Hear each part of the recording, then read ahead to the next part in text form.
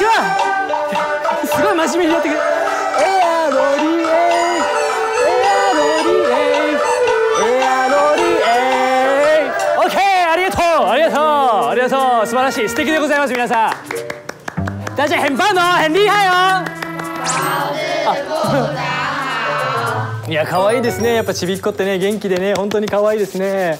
あこんにちは。哎，你好，你好，こんにちはこんにちはこんにちは。あ哎，の请问有什么事吗？あいやちょっとあの用事があって来たんですけどなんで妙にこうマーチングバンドの方々がいるんです哎か，这几关土库国小的国乐队，他们有空都会来啊、呃演奏给马祖听。他们他们是马祖的音啊，所以哈、伊拢来演奏国歌给马祖听安尼。あそうなんですね。えええじゃあみんなマサ様の子供なの？可愛い真的很可愛いねそうなんですね。あでね違う今日僕ねあのびっくり台湾の高志部長と言いまして任務で来たんですけどあのここにここすマサ様のあ違う違うまたね日本語で言ったら絶対間違えられるんでちょ中国語で喋りますね。所以这边是妈祖的庙吗对对对，我们这里是土库顺天宫，我们的马祖庙有三百多年的历史了。所以这边有妈祖的恩人吗？你要找马祖的恩人哦，应该是那一尊，我带你过去看看。いるんですね。ついに発見しました。いるみたいですここに？わかりました。じゃあちょっとお願いします。お願いします。どうぞどうぞ。先生お願いします。バイバイみんな。またね。バイバイバイバイ。なんとついに発見マソ様に恩人が本当にいたんですねマソ様の恩人とは一体どんな方なのでしょうか？奇妙。哎，投资部长，我特别介绍嗨，我们主事是马马祖，我们现在的庙宇哈，嗯在道光十四年建庙的，现在原有的建筑物哈，就一百八十八年了。我们这个匾额哦，也是历史很悠久了，有一百七十年的历史了。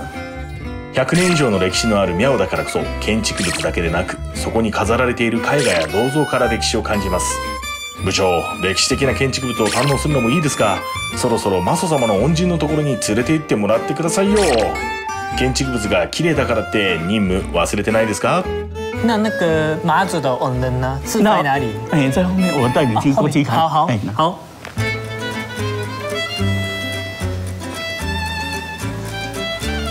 ついにマソ様の恩人が登場ですどんな方なの？哎，你要找的马祖恩人应该是这一尊日本观音。哈？什么意思？为什么日本的观音？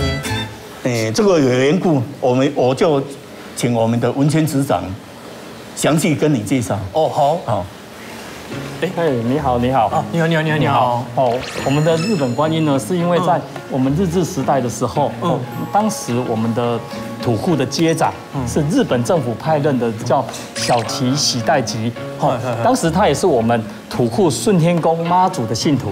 那他甚至于在一九三四年的时候，我们那时候顺天宫要重修的时候，他还担任我们的重修董事。嗯，好，那修到一九三八年的时候修好，结果在一九四零年的时候发生这个，我们那时候日本的一个总督下令一个皇民化的政策，哦，是希望要那个我们要改为神道教，所以当时呢，我们的接长呢，为了怕说我们的这个顺天宫这么好的一个文化、历史以及文物哦建物来要保留，所以说他特地呢从日本请了这尊日本观音来把我们这边改为长乐院的土户分院。所以后来那在日本这个包括警察或者一些一些政府的人员来我们顺天宫的时候，只要看到我们这是。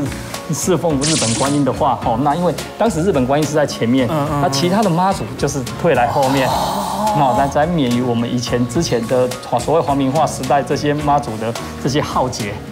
そうなんだ聞きました皆さんものすごいストーリーですよだから観音様がいらっしゃったからマソ様がこうして今でもここにいらっしゃるってことなんですね 哇，真的好厉害的故事哎，蛮感动的哎，真的。哦其实我们也可以请主委来，请日本观音呢来让特地让你来看一下，请出来外面这边，哎，真的可以吗？可以可以哎，可以可以。真的吗？哎，可以可以。なんと番組のために特別にマソ様の恩人である日本の観音様を近くで見せていただけることに部長これはとても光栄なことですねそれにしても日本の観音様が恩人なんて本当にびっくり台湾です哎，所以这个是日本的观音吗？这个是我们当时我们的街长从日本群马县所敦请过来的日本的三十三号观音。那日本的观音跟台湾的观音有不一样的吗你？仔细看一下哈，我们的日本观音呢，它双掌合十，好，来你仔细看一下，那后面有荷叶，好，那好吧呢？对啊，这边还有它的编号。我们十二年前，我们前主委在整理我们的一些文物的时候呢，发现一个我们当时日本的和尚。黑泽佑成的道任履历书，当时有在从资料上面看到是在群马县的一个叫做吉祥寺所请过来的日本观音。当时他写了五封信到日本，所有有吉祥寺，就是群马县有吉祥寺。结果有一宗有一有一封回信，就是黑泽佑成这个和尚的后代叫做黑泽义祥。哎，对啊，后来呢，在同年的三月，他就过来我们顺天宫寻根。哦，そうなんだ。对，而且来确认说，当时所保留的这些文物里面，是他爸爸在我们台湾传教布道的时候，这他当时的这些遗迹， 是有经过这个他的后代来来来做过确认的。哦，そうなんだ。是哦，所以是确定是这个是那时代所对没有传下来的，没有错，没有错。原本呢，我们都是说我们是三十三号观音，那但是后来呢，经过我们有学者的一个调查研究呢，他推测哦是应该是二十三号观音才对哦，因为他从他的刻痕，那有可能是年代的久远，这边有剥落， 所以说呢，目前是以专家学者来做过调查来讲哦，来推测应该是二十三号观音。哎，これ三三米酒，这这个是米酒哦。米酒，对。但我没看没看过哎对，之前我们都一直认为这个是三九。对，那因为这个是古字，啊，古字哦。对，日本的古字哦这样子哦。对。日本の観音様が台湾のマス様の宮にいらっしゃるなんて不思議ですね。いろいろな方の巡り合わせご縁があり今現在もここに日本の観音様がいらっしゃるんですね。それではここでさらに詳しく理解するために本社大学人文社会学教授の李教授に日本の観音様に関してより詳しく説明していただきましょう，跟台湾一般民间信仰的观音比较不一样的是，我们可以看到台湾民间信仰的观音，一般它都是比较是坐姿的方式哈。那我们看到这个观音，它本身是立姿，那立姿的部分包括它后面的这种周状的背光，这个是在台湾的民间信仰中的观音是比较少见的，尤其是它的这个周状背光啊，或者我们讲莲瓣形的背光，经常在日本的观音里面看得到的。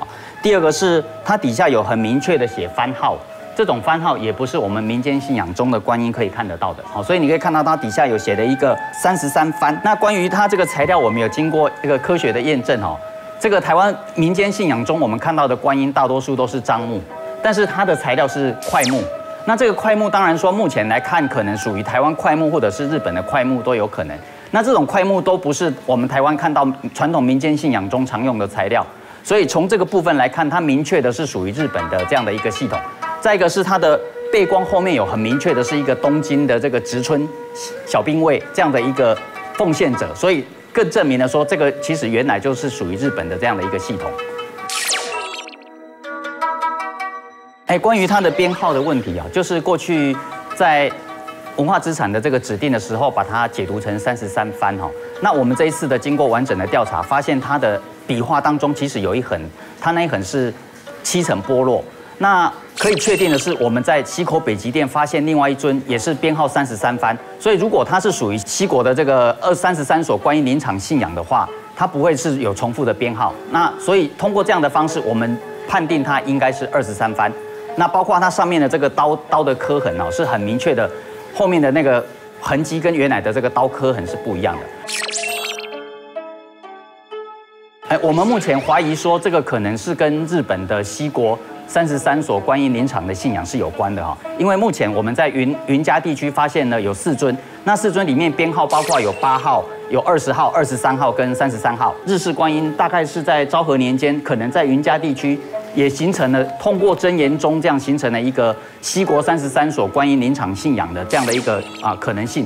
那目前我我们之在通过过去的有一些日本学者的一个研究里面，他过去的找到的资料是说，真言宗当时来台湾的时候赢了十二尊的这个观音哈，所以我们目目后后面可能会再做进一步的调查，把它到底是属于这个十二尊当中的，还是说它是三十三所林场信仰，我们来做一个这个对应。通过我们这一次的调查，我们可以确定它应该是在二十世纪前半的时候，从日本这个地方引起来的日本观音。李教授、詳しいご説明ありがとうございました。日本から来た観音様に間違いないですね。现在我们的的日本观音呢，也是我们云林县内哦，包括我们全国哦，唯一在妈祖庙里面还有供奉日本观音哦。 そうなんだ。え、そうなんすか？すごくないですか？唯一唯一。是，哦，真的。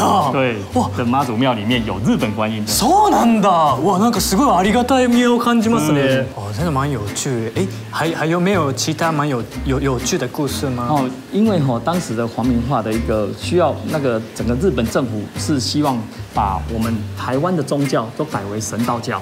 嗯，所以说呢，包括很多的台湾原本的宗教或者是神像来讲是列册销毁。所以说呢，当时呢，我们这边改为长乐院土库分院的时候，哦，是等于是一个日本的神道教。那我们附近周围的神都必须要来我们后殿这边避难。哦，そうなん对だ。，当时日本政府只要进来看到，哎，这是日本观音的庙， 哦，他们就不会再搜查。那包括才得以保留我们现在目前云林县最重要的这个国家无形文化资产，哦，这个六房天上圣母，哦，现在之前也是在我们后面这边避难的。えー、そうなんだ。比较有趣的是怎么样哦，很多的这些人去把他偷偷的请来到我们顺天宫。哇，很伟大。利用半夜的时候真的很伟大哎。对那如果我也我也在台北啊，比如说有什么问题，我也可以避难在这边吗？当然可以、啊，可以吗对对，是没有错，没有错。するとここで当時日本から運ばれてきた際に使われた木箱を見せてくださいました。 高志部长嘿，这个就是日本神龛。へえそうなんだ。わでもめちゃめちゃ綺麗綺麗めっちゃ綺麗ですね。这这个有修改之类没有没有没有修改，都没有哦哎还对对对，前来就是这还是这么我可以 touch 吗？嗯，可以。可以吗？わ わすごいまだツルツルだし綺麗めちゃめちゃ綺麗ですよ。すごいねこんなに綺麗に残ってるものなんですね。いやでもね本当にまさか2日間もかけて本当に大変でした。なので皆さん僕のこの情報をしっかり役立ててほしいんでユンリンに来た際はぜひともここに来てください。本当にね本当にすごく綺麗な宮なのではい。ということで今日はどうもありがとうございました県庁さんの入れてくださった化学コーヒーを堪能しダンクヤーローミエンシェンも食べれてさらに県庁さんと龍米を一緒にやり最後には任務であるマソ様の恩人日本の観音様を発見まさか神様同士でも日体で助け合っていたなんてとても感動的だな哇，时间过得好快哦！看完我们节目还喜欢吗？喜欢的朋友请记得订阅“狗行卫视 YouTube 频道，并开启小铃铛，才不会错过台湾好资金节目的最新通知哦。也欢迎在底下留言告诉我你们看完节目的感想哦。